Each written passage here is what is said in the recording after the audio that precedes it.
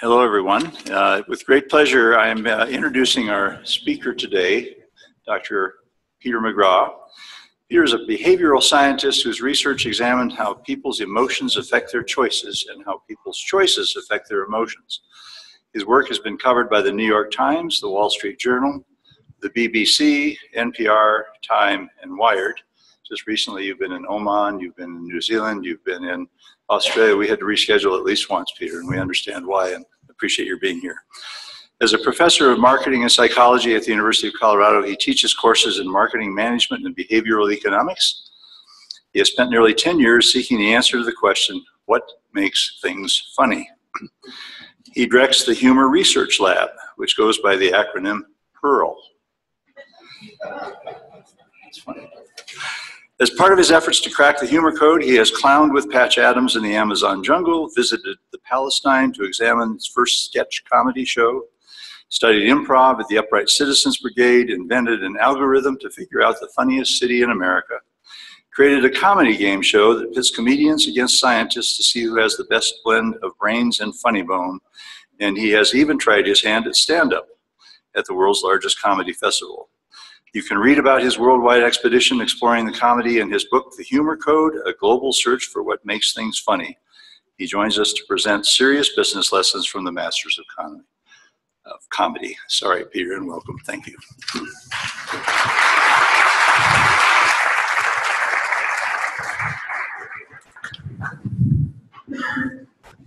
Um, thank you, Paul. Um, and, and thank you for all of your service. Um, uh, my mom had polio when she was a child and made, um, fortunately made a, a complete recovery.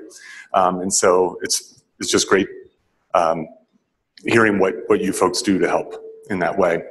Um, so this, uh, um, this is a, this is a new area, a new talk. I've actually I told I sold Paul Paul on this idea by telling him it was a, my secret new project. Um, it's not really a secret anymore, I guess. Not with that camera there. Um, but, uh, but actually, let's just start. I have a question for the group, and I want you to raise your hand if you feel like you could use a vacation. Okay, except for that guy right there, all of you could use a vacation. So let's plan a vacation, okay? I'd like to, um, to do this. Let me turn this on. Um, we're going to plan a vacation, and here's how we're going to do it. In a moment, I'm going to ask you to stand up and, uh, and to turn to someone next to you. So, so create a pair, and, uh, and one of those two people will suggest a destination for your vacation. And the only rule is that you go back and forth, and you have to use, you have to start each sentence with yes, but. All right, so I want you to plan this vacation back and forth, yes, but, add something to it, yes, but, add something to it, okay? On your feet, let's go.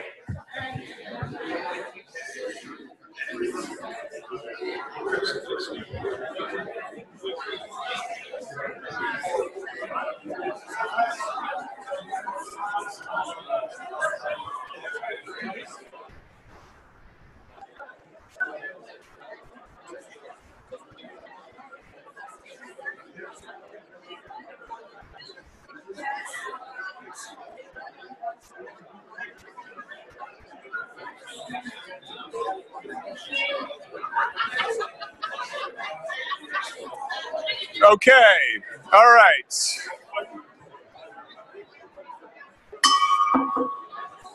So I know I know you're excited about your vacation.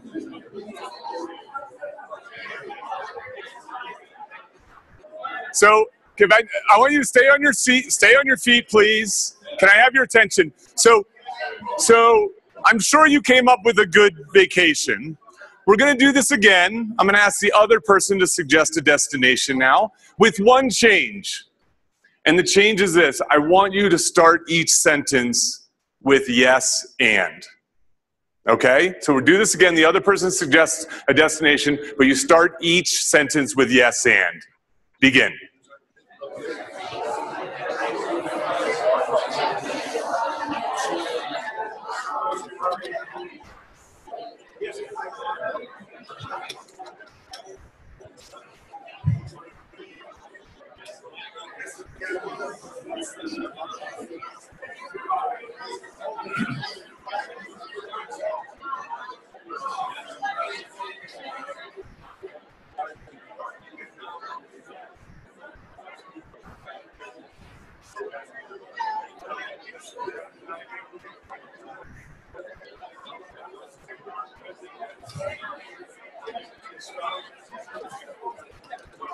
Okay, everybody please have a seat. So let's have everybody take a seat.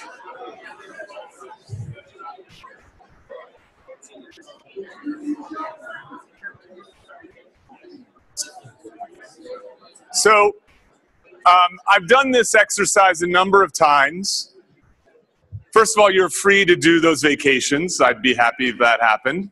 Um, I've done I've done this exercise a number of times, and one thing that that regularly comes up is that there's a lot more excitement, and enthusiasm about that second vacation, um, and and it is um, and the act of building that vacation is um, is really a foundational principle in in improvisational comedy, which is actually called yes and. I call it agree and advance. Um, and what's interesting is, is yes, anding things in life, um, as you just had a, a, um, a, a, tiny part of it, it really helps build on ideas, um, which, is, which is, ends up being a really valuable part of, for instance, problem solving, creativity, innovation, and, and so on. Now, many of you may be familiar with that lesson. It's made its way into, um, into uh, the, the world of business, you know, improvisational comedy troupes do, do improvisational training and so on. Um, but I was recently asked by the MBAs, the graduating MBAs at the Leeds School of Business, to deliver a last lecture. And, and in that, um, and when I was asked to do this last lecture, I wanted, I wanted it to be actually a valuable thing for them. And I started thinking about the kinds of talks that I could give. And I found that they they weren't the kind of lessons that I wanted to give my MBAs as they head back into the real world. And, and so I, I just sat and thought about what I could do. And I had this realization that I could bring these three areas of my life together this, this view of comedy that I've had for about 10 years now, um, the teaching that I do in, in uh, marketing management and in behavioral economics, and then, and then the broad research that I do in those, in those two topics. Um, and, uh, and I realized that, that comedians, you know, these, these incredibly funny people, um, they may not be the people that you necessarily want to hire in your company, but they share the same traits as the kinds of people that you want to hire, the kind of people that you often want to be. That is, that um, they're creative, they have good persuasion skills, you know they they think differently. And and we're living in a world where thinking differently and having those kinds of skills are going to become increasingly important as robots come to take white collar jobs. Um, and so I, I started devising lessons based upon my observations of comedy and then and then making sure that they work through the lens of of a professor and, and, a, and, a, researcher. And I got a little carried away. I actually came up with 25 lessons. Um, I was told I only had I only had time for about four or five in the last lecture. Um, I'm going to give you a few of them. I'm going to give you a sample of some of those today, and, and hopefully they get you thinking uh, a little differently yourself. So. Um, one foundational idea in comedy is, is, uh, is called the reversal right? So Ryan Reynolds uses the reversal in this tweet about visiting Disneyland. Um, and this is really comedy 101. You know, you create some expectation and then you reverse it. You know, Henny Youngman said that, that when he read about the dangers of drinking, he stopped reading you know and so so this is this is a you, and you find this time and time again i'll, I'll show you i'm going to show you a video um, of, uh, um, for those of you who may, may be old Saturday Night Live fans of um, Jack Handey, this is my favorite Jack Handey. It has a, has a reversal in it. I don't think we have volume. I can dictate it if need be. To me, clowns aren't funny. To me, clowns aren't funny. In fact, they're kind of scary. I've wondered where, I've wondered where this started, and I think, and I think it goes back to the time I went to the circus and a clown killed my dad. Right, so so you, you know you can find this regularly when you when you look at comedy. Now, what's interesting is that you can also find it in business. Now, it doesn't come naturally in business, but, but being able to produce an opposing perspective, to be able to reverse your thinking is actually really useful. It can overcome a status quo bias, it can, op, uh, it can, um, it can present new opportunities, and it certainly creates situations that are, that are often unique. So I'll give you three examples of this right now. Um, the first one is um, two, uh, two entrepreneurs from Brooklyn um, wanted to create a, uh, create a new mobile phone. Well, you know, the question is how do you out Apple and Samsung in terms who are creating smarter and smarter phones? These guys realized they couldn't do it. They reversed direction and they created what they call a dumb phone. Right, so the dumb phone only does text, sets an alarm, makes a phone call, does some basic navigation. It's designed for the person who doesn't want to be more connected, but rather wants to be less connected. Um, you may have passed this Warby Parker store on, on um, East Pearl. Warby Parker's putting eyeglass companies, brick and mortar eyeglass companies, out of business by mailing people prescription glasses, and yet they're creating their own brick and mortar stores. They are actually reversing course in order to build their brand, serve new markets, and so on. And in a time in the early uh, early aughts, um, when when fitness gurus were trying to make it to be never easier to get in shape, the creator of P90X got real and, and reverse course and said, if you want to get in shape, it's insanely difficult. It's never going to be easy. And this is a, this is a company that, that boosts just a 3% return rate. It has very happy customers because it, it, um, it, it found a niche. And now, you know, we live in Boulder, we see this everywhere, CrossFit, et cetera, et cetera. So, so having this, being able to produce an opposing perspective is a useful tool in business. Um, does anybody know this guy? This is Ricky Bobby. This is Will Ferrell playing Ricky Bobby in Talladega Nights. Talladega Nights is a very fun comedy movie about NASCAR. Well, Ricky Bobby has a saying. I teach my students this saying. Does anybody know this saying that he has? If you're not first, you're last. And, and the reason I teach them this saying is because it's really applicable to business. Right? So when people are seeking a solution, whether that solution be a product or a service or an employee, they only choose one. And being second is the same as being 10th. And that's an important thing to understand when it comes to competing in a marketplace. Now, comics know this. Um, so this lesson I call create a chasm. Comics know that they can't make everyone happy. That is, that they're very clear who their audience is. They're very clear about making those people laugh, and they're less concerned with making their non audience laugh. They want to be number one, but they know they can't be number one for everyone. They have to be number one for their target market. So, the lesson I talk about is there's a world of people who who like hot tea, and there's a world of people who like iced tea. And if you try to make both of those groups of people happy, you serve them warm tea, and no one's happy. Right? And so, so comedians are really good about embracing Ricky Bobby's saying. So I, I use this example um, in class where I ask students which brand they want to manage. Um, and, I, and, and many of them who embrace this either hot tea or cold tea um, they want to manage brand A, right? Because brand A has a group of people who love the brand. And there's a lot of benefits from having those delighted customers. They're less likely to variety seek, they engage in positive word of mouth, they're less price sensitive, and so on. Now, of course, there's a whole bunch of people who hate this brand. That's fine. You're not going to make those people happy, anyways, and so you can feel free to ignore them. And, and when you think about it, a lot of brands have that. You know, you ask people who love Starbucks, what do they love about Starbucks? Oh, I love Starbucks. I get anywhere I go, I can get Starbucks. Everywhere I go, I get exactly the same cappuccino. I love it. You ask people who hate Starbucks. I hate Starbucks because wherever I go, there's a Starbucks.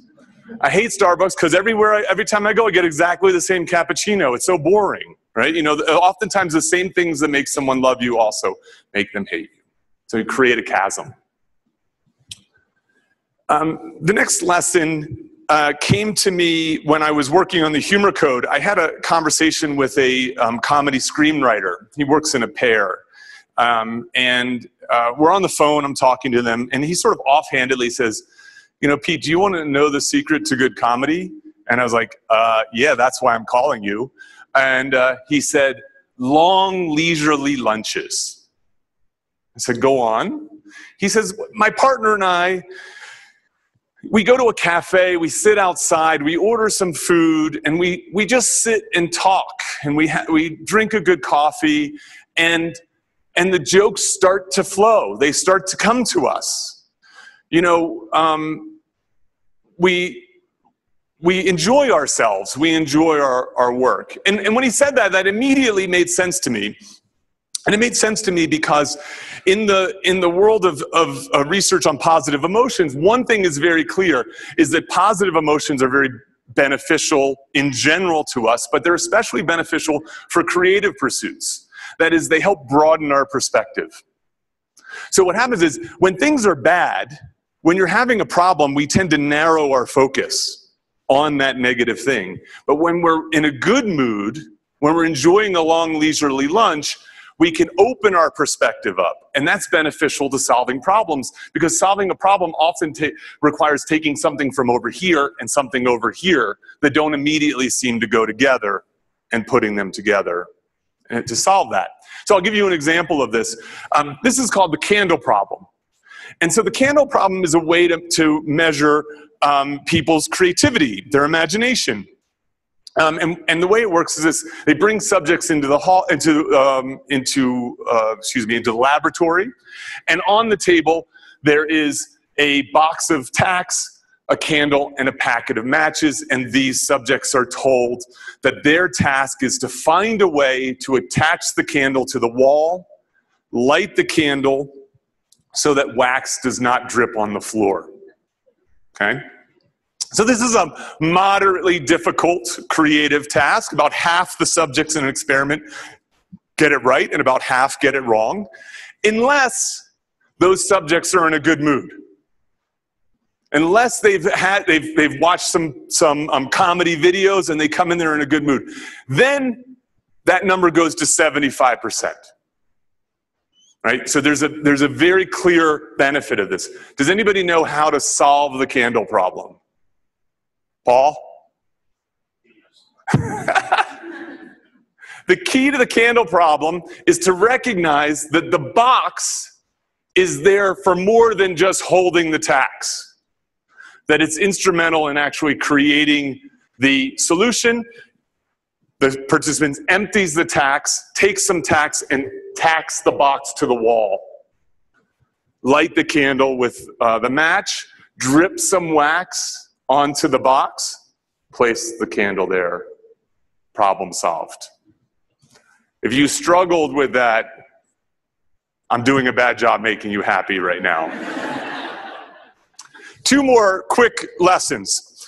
Um, one of the things that I, I'm often envious of, of, um, of comedians is they, they seem to have that kind of leisurely life more generally.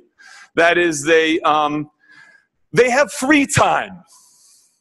They create free time and space in their in their um, in their schedules to be able to do their creative work. Um, so these are two these are two schedules I jotted down. They both contain the same number of meetings, the same meals, the same um, uh, project work, but they're structured very, very differently.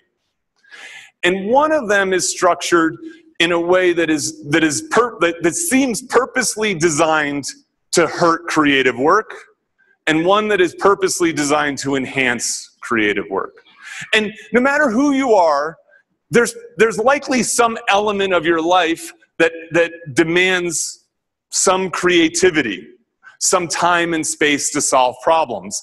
The problem is is that that working on it and then taking in a meeting and then working on it and taking in a meeting and having that kind of back and forth is not a good way to foster that. But rather create this comedic calendar which creates lots and lots of space and then lumps this what we would call manager work. Meetings is manager work right? Um, this is this is maker work in this way. And i think that these th- there's two problems this is one is oftentimes managers create a schedule that's good for them but not good for their makers not good for their creative types. And then i think a lot of times people who are naturally creative people don't recognize that value. When you look back in history at deep thinkers, great scientists, inventors, musicians, etc., one of the things that you find is they're a lot like comics. They, they have many hours that they, they are detached from the world, then they wrap up their work, and then they become normal again, so to speak. Last one. Um, uh, this is from Bob Mankoff, a friend of mine who I met on the thing. His, if you can't read it in the back, it's uh, gentleman's on the phone. He says, "No, Thursday's out. How about never? Is never good for you?" Um, I have a really, um, I have a really obscene one of these that I showed the um, MBAs, and they loved it. But I thought I would, I'd keep it PG-13 for Rotary. Um, so, um, um, so I call this lesson "Getting from." getting from yes to no. And, and uh, what got me thinking about this lesson were my, my conversations with, with really accomplished comics, with the kind of people who are creating television shows and, and writing screenplays and so on. And I, I think that there's an interesting, there's interesting times in life that no one ever tells you that it's good to change your behavior right? So, you, and you probably, when you reflect on it, are going to be able to tell me what time of life you are, you're in right, right now. So, my MBAs are in a time of life where they're on the offensive. They're, they're gathering they're gathering experience. They're saying yes to lots of things. Um, they're, you know, they're, they're building their connections and they're gaining skills. I, I like to say they're carrying a spear. You know, they're on the hunt. They're throwing spears all the time. What's, what's interesting is if they're successful in life, at some point, they're not going to want to be saying yes to all these opportunities.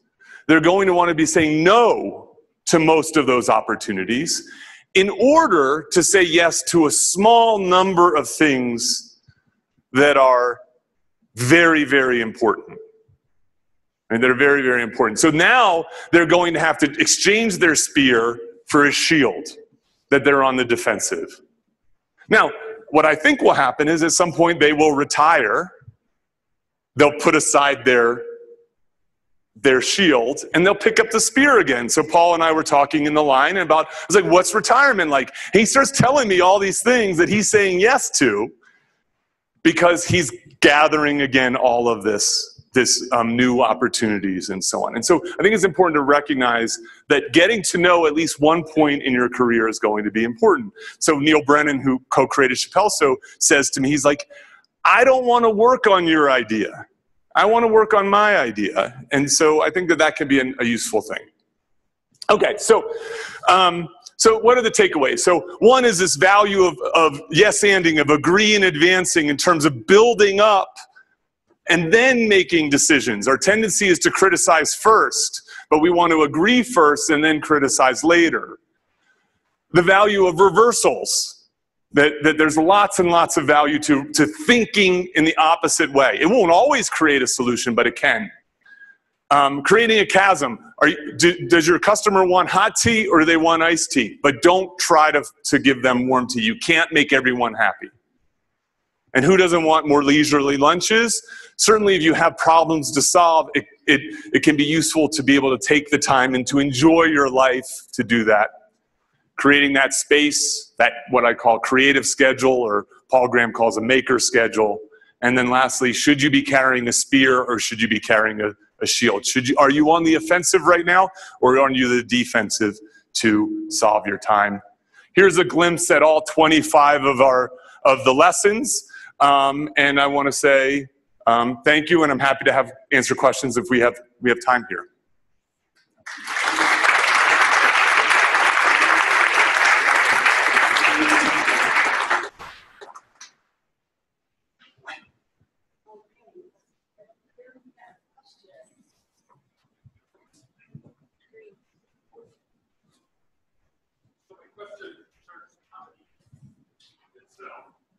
Sure. Self. And um, humans are often called the storytelling animals. And I was wondering how much, what are the parallels between stand up comedy and storytelling? Okay. So, um, So I would say, so I so certainly agree agree with you. This notion um, that stories are are unique to to humans. Um, I, have been highly recommending this book called *Sapiens*, um, in which the in which the author makes an argument. The thing that really makes us distinct from from other animals is not language. Actually, other animals have language. It's actually our ability to believe in fictions, right? Which is which is um, at the heart of, of storytelling. So I would say um, I've never been asked that question, so thank you for asking me it.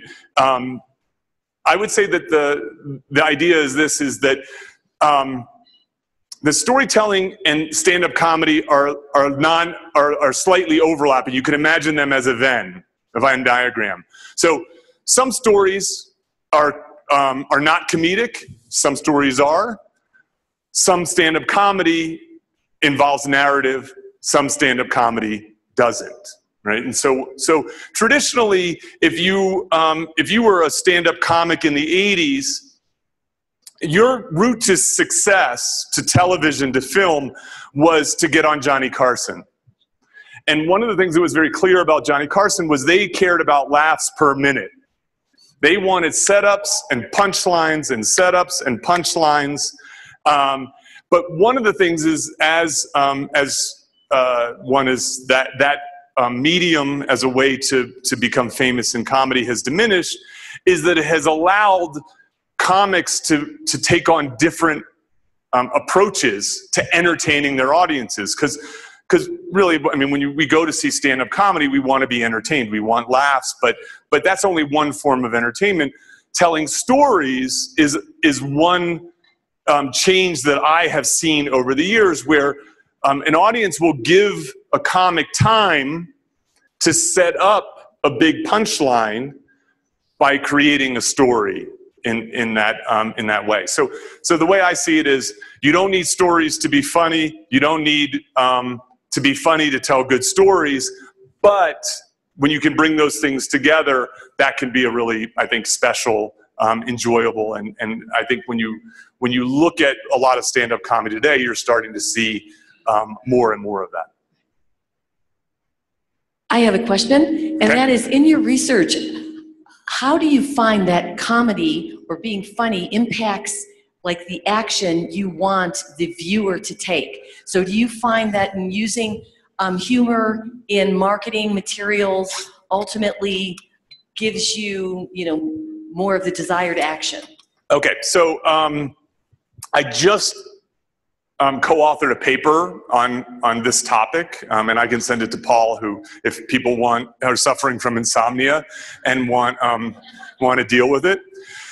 So the answer to your question is, is would take me a well. It took us about 30 pages to answer, but I can. Um, what I will point out to you is, I think a fundamental tension and puzzle when it comes to humor. It's actually part of the reason that I chose to take this lessons approach rather than to take a be funny approach. So for 10 years, I've been studying humor, and one of the things that I've noticed time and time again is that, that it's a double edged sword. That oftentimes, where there's great benefit, there's the potential for great costs. I'll give you one example in, um, when it comes to marketing communications. So, one thing that's very clear is that consumers enjoy funny advertisements, funny marketing communications. They, they pay attention to them. They're less likely to, um, to, to switch away. They're, they're often better, um, better remembered than non-humorous marketing communications. They, they lead to things like um, uh, they, they have the potential to lead to, to liking the brand and so on. But there, there's dangers in doing it. So one is the memory effects only work when the humor is connected to the actual message that you want people to, to remember. If it isn't, if it's just tagged on funny, it actually can distract. It can have a, a, a reversal, um, reverse effect. The other one is, is that oftentimes with marketing communications, you want people to be moved to action, right? So if you want people to, to, um, to solve their problems, humor is actually not often a good way to do it because humor actually helps us cope. And by making jokes about things, it actually may suggest that that thing's not that serious. So, again, I have another paper that can put you to sleep that um, looks at humorous public service announcements. And one of the things that we find is, is that humorous, humorous public service announcements don't create the same action intentions as the traditional scary, upsetting public service announcements.